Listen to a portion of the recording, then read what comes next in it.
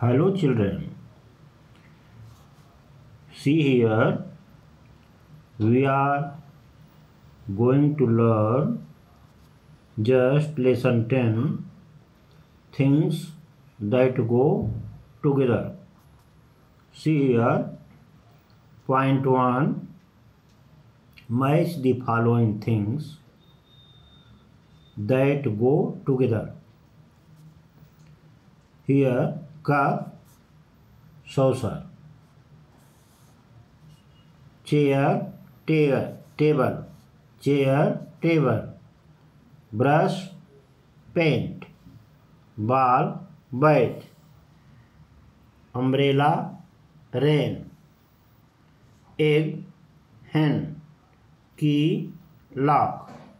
In this way, pens- uh, pencil, notebook. In this way.